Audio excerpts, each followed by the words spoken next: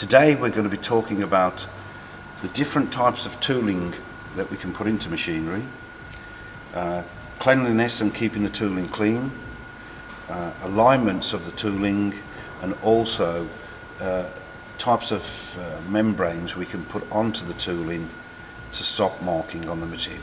First of all, uh, we must make sure the tooling is absolutely clean and spotless of any dust, dirt, got to be spotless.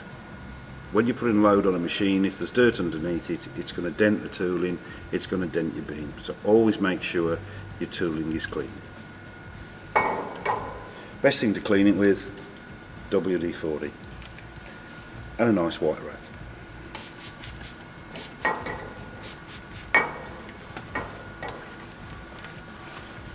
Clean the tool all the way around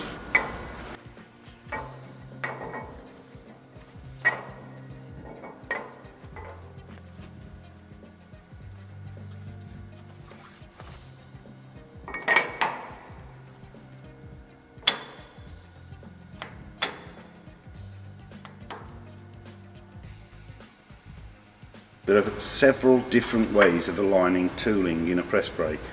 On this particular machine we have Promecam style top tooling with the Amada tang. Basically with a fast clamping you place the tooling into position, you push it up and you close the clamp. This is on the top tooling. The bottom tooling basically is self-aligning as well, the same as the top choose the V that you require, make sure all the tools are aligned in the same method. Tighten up your Allen keys and then just nip them lightly. No need to over tighten.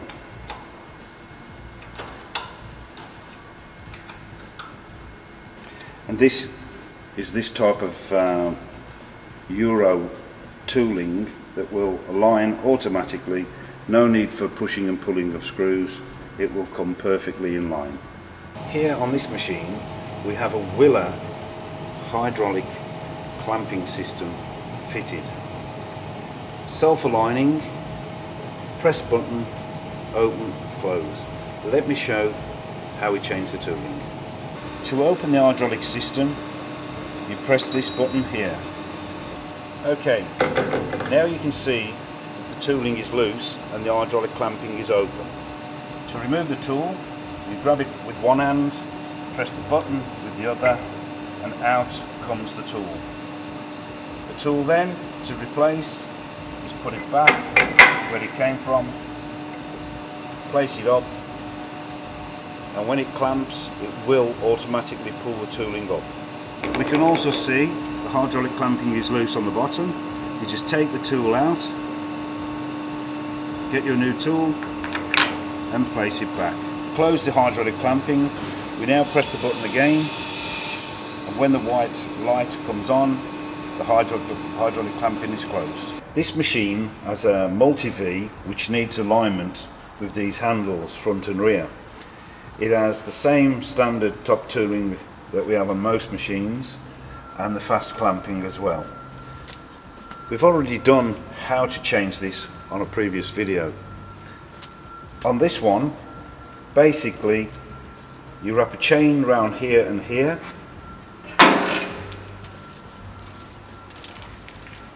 you place the machine into slow speed and you take it up obviously you would have released all the handles first then you turn the V to the correct V that you require and you make sure it's all clean and that the bed is clean and in slow speed again you bring the beam down and adjusting here and at the rear and looking down the center of the machine you align front and rear both ends and then nip the middle when finished.